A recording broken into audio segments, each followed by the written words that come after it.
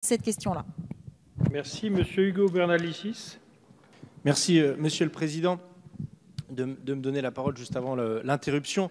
Vraiment, ici, on est sur le premier article, sur les, contractuels qui vont euh, augmenter euh, dans les trois, trois versants de, de la fonction publique. Certains disent même qu'on atteindrait avec ce texte 40% de contractuels dans les trois versants pour aujourd'hui 18%.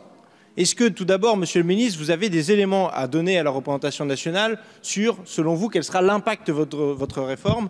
Euh, Est-ce que 40% c'est un chiffre euh, qui est euh, si ubuesque que ça ou si extravagant que ça? Deuxièmement, finalement, moi je, je suis pas, je vois bien là où vous voulez en venir. Le fait d'être flou, c'est très clair. Vous voulez la bénalisation de la société.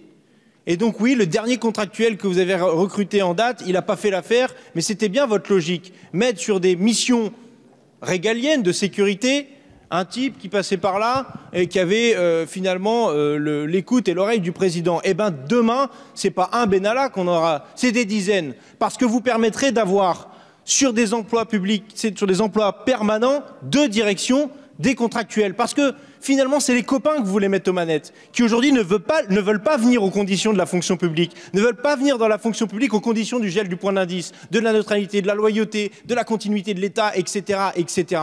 Voilà ce que vous voulez faire. C'est la République des copains ou la République des coquins, comme vous voulez. Mais c'est ça que vous êtes en train de préparer. Et c'est inacceptable.